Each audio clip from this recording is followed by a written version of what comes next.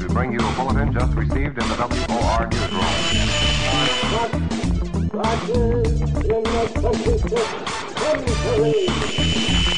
Oh, all the humanity and all the fairness they're feeding her. I mean, I may, at this early hour in the morning, recapitulate the is really new. Shooting down things so as time From sci-fi to music, computers to entertainment, nothing is off limits. Coming to you live from the Danger Room, voted best new two-person podcast east of Atlanta. This is Roguecast. And now, here is your host, T.R. Love. The rules of dating. Can't say that. There the secret rules. guide into the secret guide for men. for men about rules for dating. Isn't it a woman's guide, but it's like a secret society for guys? Right. We're gonna look at we're gonna look at the they have ten steps. 10 steps. And then we're gonna look at the ten steps and then use those and then learn how to use those to our advantage. Okay. Okay. It says uh, one. Don't color or cut your hair at the beginning of a relationship. Your new love interest might be nice about it, but he won't like it. okay. So if you're a blonde, don't go brown. If you're a brown, don't go blonde. Well, at least in the first, like you know, if you start dating someone, because then that they feel, I guess that that, you know they've they- lost the, that love and feeling for the original you. Well, no, I guess because they, you know, they liked you in the beginning. Why change your hair? Oh, okay. Unless Because- they, unless you make a comment like, "Your hair could really be changed," and then maybe you go do it. So, Uh-huh. no, no haircut, No haircut. at least for eh, a couple months. But the survival guide would be if your if your girlfriend starts changing her hair, Get out. get out. That means that means maybe it's time on. to pull the ripcord and maybe she'd be start be able to start looking for other things. If if your girlfriend comes home with a new bob and Mhm. a blonde do, then you probably could realize that she might be dating someone else or thinking about that at least. or she's ready to date somebody. or she's ready to date someone else, and you say, Ah, I'm out. I'm out. Uh, don't Step be one. be ready for the talk. "Be ready for the talk. Okay. Uh, it, it'd be. It's not really you. It's me talk. Get out of it before she gets you out of it." Uh, yes, and, the rule. but always break up with her first, and Yeah. then you just be like, if she comes home with a new dude, go, honey, we need to talk. I'm breaking up with you immediately. Yeah, even if she's cheating on you. Okay, so what's step two, Tr? okay, wear whatever you want. Just wear it well. Uh, don't try to squeeze into a size ten or a, a ten body into a size two dress. Be proud of who you are.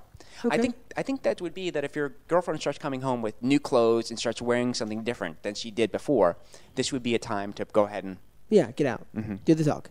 So she starts dressing differently. Yeah. So Oh, if you were dating a punk and then she becomes a prep, you should probably get Mm-hmm. out. Uh, step three. This is going to be so. This is going to be funny unto itself. Uh, say what you mean. Subtle hints are scary enough and can be misinterpreted. wow. Coming from a wor- woman. When are the, when? Uh, what do they ever say what they mean anyway? Well, and when is it subtle? Yeah. Like if they're gonna say what they mean, they're gonna tell you. There's no subtle they're, hints. they're always subtle. They're always they're, they always think that they're going around in circles and trying to get us to do whatever they want. Eh, I- so just if she starts being real subtle about it, get out. Okay, step five. Find out who does the laundry. If a guy's old girlfriend or his mom is sorting his socks, you know he's not ready for a relationship. Okay, what what who, what guy? What guy is still hanging out with his ex girlfriend just Or so his she mom. can do the laundry? or his mom. well, I used to take my, my my mom the laundry home in college, but that was only because I That was college. That was college. That was and college. so if you're, I mean, if someone's living with their mom, they can at least do their own laundry if they're mooching off the parents. But yeah, I mean, girls, seriously, if your boyfriend is still seeing his ex girlfriend and she's doing his, Laundry. You're an idiot. But- There's no reason to even explain that. You're Maybe an idiot. maybe doing the laundry is subtle code for doing something for having fun. Oh, I've got to go over to my ex girlfriend's house and do do the laundry. laundry. It's going to be about two hours. How come you don't do the laundry with me anymore? Well, my ex girlfriend's doing my laundry. All right. Uh, okay. Step number f- uh, step number six. Don't be too available. Men are hunters. Remember. So, okay, don't be too available. So I think they I think they spell this wrong. It's men are hunters, and you want to be you want to be prey for them to be for them to hunt you. You don't want to go after them. You want them to come after you. so men want a meek, timid girl No, that will sit in the corner. no. I Oh. don't think that, I don't read that at all. You It don't- only you has think- you think two, it- three, four, five, six, seven, eight words, and you got that out of seven words. Yeah, that's what it's saying. It's saying men are hunters. Mm-hmm. Let them come for you. Yes, Okay. but no, I think this is. I think what they're saying is use this to your advantage. Oh, okay. Oh, use that. Lure them in. Lure them in. Trap them yes, in. Where the hunter becomes the hunted. Ooh, Mm, hmm. Ooh. See? that's an interesting subject. Yes. So basically, that step is, as a woman, Mm-hmm. trap your male in a cocoon and keep them there. But don't we turn into butterflies? Or that, this, is, Um, wrong. this is going so. yeah, I'm not going. I'm going to going- actually. I'm going to back up this whole Please, subject. Okay. Don't use the cocoon evermore. Don't- Okay. don't talk about your ex. Reveal your deepest, darkest secrets. Complain a lot, or or, uh, interrupt.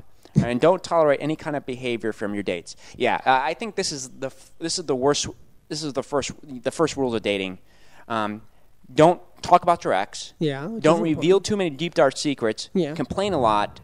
At least on the first couple, at least on the first couple dates, or at least when you're, you, you- we want to, we don't want to know everything about you on the first date. No. we want to get to know you. Yeah, that's the point of getting to know you. Like, if, if you Uh-huh. tell me that you're a serial killer on the first date, obviously I'm not going to call you back. Mm-hmm. Or, I mean, but then again, it's nice. You to know, but- it's it's nice to get to new things as you're dating. Right, It's you don't want to know everything on the first date, or then it kind of everything because then there's nothing to find out. It gets and- dull. Yeah. It gets kind of boring. Well, going back to the serial killer, how many people do you have to kill to be a serial killer? um three. Oh, well, I'm not good. That was Yeah, all right. was Then I'm say, still, I'm still you're not a serial killer. You're safe. You Uh, wonder where Big Tommy is.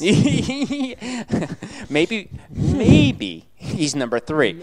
Maybe we'll see. Well, you know what? Because you've ser- seen Big Tommy, I haven't seen him. By the way, is it only if you're if there's three? Is that three that they know about, or do you? Um, It's three that are confirmed. it's confirmed. So I've got wow. I'm You're I've not. got- you're in bad shape. I'm in bad shape. Okay.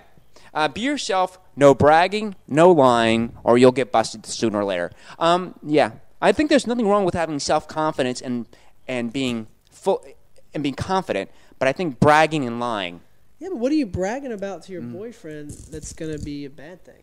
No, but you know, it's one thing to say that I climbed Kilim- uh, uh, okay. you know, I climbed and uh, I'm a, I'm yeah, a, yeah, I I'm a hiker and I, you know, I climbed K two. And then you take them outside and they can't do anything. yeah, I got you. I thought maybe it was like, don't like. you know, I, I think that's a, you know, I think that w- I think everyone knows that we're kind of full of ourselves to begin with, and Yeah, we don't need we all another- expect we all expect to be like new car salesmen, where they go, each go out and go, you know, this is the best car, this is the best sports car money can buy.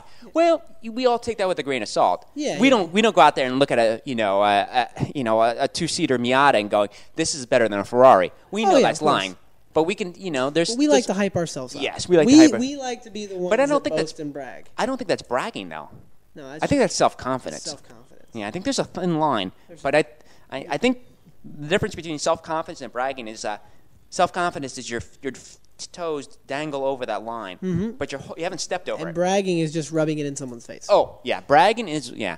I hate those people when you talk about something and they they come back with something better. better? Yeah, you know. Oh, yesterday, uh, you know, I can't believe this that I did well in the beach bar, you know, the beach bum marathon, and then somebody goes, oh yeah, well I ran the New York triathlon. Yeah. Oh yeah. I shot a 71 today. Oh, Well, yeah. I shot a 60. I pl- no, I played golf with Tiger Woods and beat him. there's the big one. There, there's the there's the brag of the century right there. right? Yeah. that'd be- that'd be All right. Um, What else we got? uh, don't tell your date what you like about him. Stroke that ego a little. Okay. Mm. Yeah, I see. Okay. I I think this is all about being mysterious. Yeah, they want you to be dark and mysterious and not let on too much. But. But I think this goes back to don't reveal everything at f- at the first time. yeah, but I don't know. It's it's good to know what you're doing right on the first date, though. Ooh, I, yeah, You know what I mean? Like it's good to know. Well, you make good conversation. yeah, but that's not. Um, it says tell your date about um, what you like about him. Did I read that wrong? Tell your date what you like about him. What you like about him? I Yeah. thought you said tell your. Don't tell your date. I'm sorry, you but like. tell your date what you like about him. Oh, Stroke okay, his ego. yes. I'm sorry. I, we'll have to back this up. That's fine. Okay. No, no, I think that's true. That's I, about I love to hear what I'm good at, or what uh, I've done or, nice. or not good at. Yeah, yeah. yeah I You know, I. I think it's kind of fun when you get teased a little bit too, just a little, as long as it's not malice. yes, Yeah, I think teasing's good and having fun with it, but I don't think it's when a little too much. I think it's how you tease somebody or how you do it. It can be really funny and, and laugh at it, and you can laugh it at can your, be really bad. and when you can laugh at yourself too, that's a really If you can laugh at yourself, Mm-hmm. you pick the winner. okay. Uh, be consi- um, be considerate. For example, call if you'll be late. Okay. expect the same from your date. Okay. If he doesn't deliver, get rid of him. You deserve better. Mm-hmm. Ah, yeah, You deserve. If, if he's going to be late, let him. He should at least let you know. yeah. At least I mean, I'm I'm all I'm I'm all about that. I have no problem with that. that that's a good tip. for any guy. Yeah. If you want to date someone more than one time, don't be late. Don't be late. Just show up on time first couple of months. Yeah. And then if you want to be late, you can kind of pull it off, especially if you're in good. But Mm-hmm. for the first couple of weeks, don't don't be late. And I think that and expect the same from your date. Yeah, of course. Yeah. Of course. Um, okay. Uh, and then they have some tips. Okay. Don't drink too much on your date. Okay. Of course, you're nervous, but uh, uh, but don't drink too much. I think that's uh, how many times have we seen this one? Yeah. Where they go on a date and then they drink too much, and then uh, we can take the Seinfeld, you know.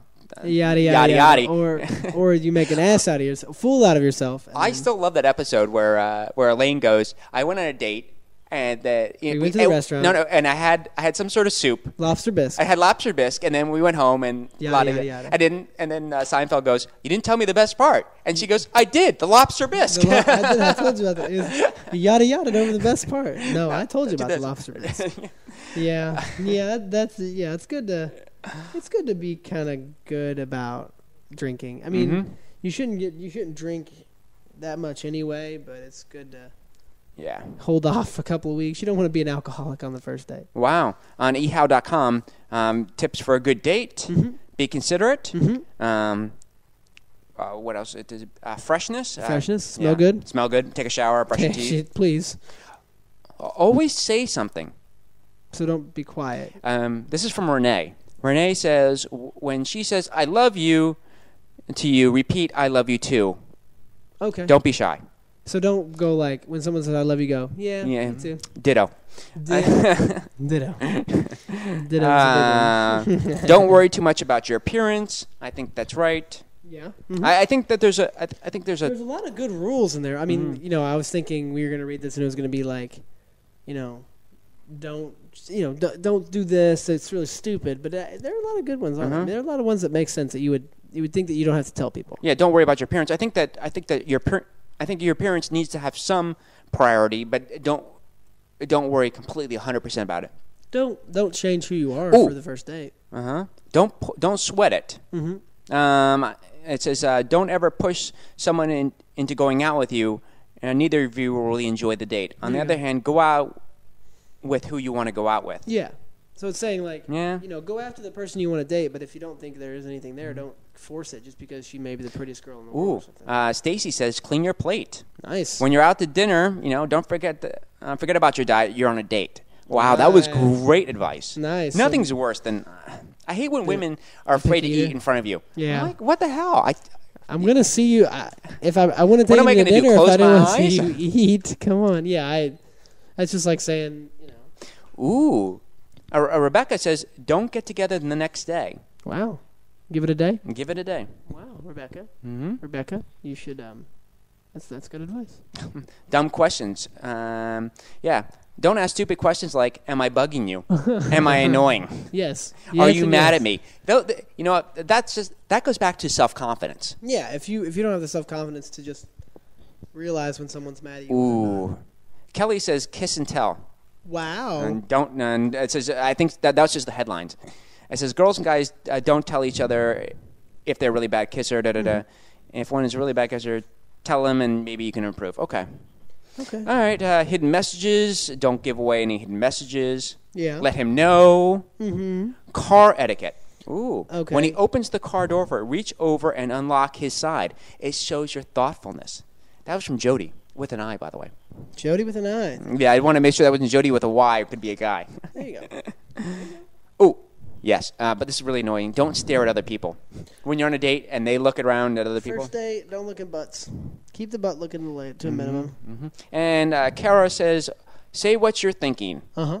and that's really So you know, if if you're not having a good time, don't don't well. pretend You know, like make you're having a good make time. sug- you know if it if you're not having a good time, make suggestions How you could have a better time. how you can have a better time. Maybe you could go someplace else. If the movie, if you know, if you're doing something and it's not going anywhere, Go maybe somewhere else. Go somewhere else. if you're playing miniature golf and you both suck and you're not having a good time, Mhm. You know, I beat Tiger Woods in miniature golf one time. Me too. Oh, okay. Everybody's beat Tiger, but I beat Tiger Woods in miniature golf with my eyes closed and one hand tied behind my back. Were you playing on Mount Everest?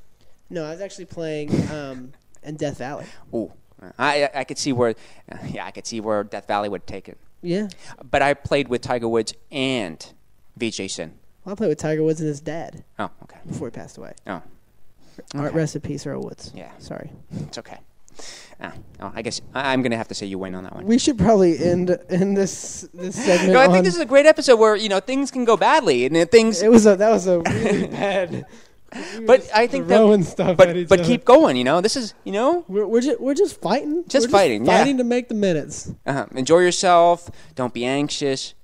Uh, I in the beauty of the beholder. Yeah, definitely. I agree. Know when you're having a good thing. Don't be shallow. There you go. And uh, give us a little help. We just talked about that. Yeah. If things aren't going badly, yeah. Give us a little help. Give And- us a little help. And in fact, on the on the idea of giving us a little help, email us with yes. suggestions. Oh wow. We- about we help. went full circle now. Segue. uh, that's how you segue with the best of them. Give us any suggestions about next week's episode. We got a couple days, so you got a full shoot us something. Yeah, get you know if you want to if you want to hear if you want to hear the guides to men. men, if you mm-hmm. want to hear guides to dogs, Yes. email us a link. Send us your information. We Any will- any new technology that's coming out? Exactly. And if you want, if you allow us to, we probably say this: if you say something in an email that you don't want us to say on the air, then don't send it. Because we'll, we're not gonna we're not gonna hold back. I, was gonna say put it in bold letters. Yes, really please big. do not read. But like, because I mean, if you put something down stupid, we're gonna probably quote it, and we won't we will talk about it and enjoy our quote. But email us, Email us. Adam at roguecast.com. TR at roguecast.com. Take the survey. There you go. Take survey. Uh, buy a T-shirt. Buy a T-shirt. Send me one. Thanks for listening to another fine episode of RogueCast. For more information on the topics, guests, or hosts from this show, please visit roguecast.com. The content of all segments of this show is copyrighted by roguecast.com 2006.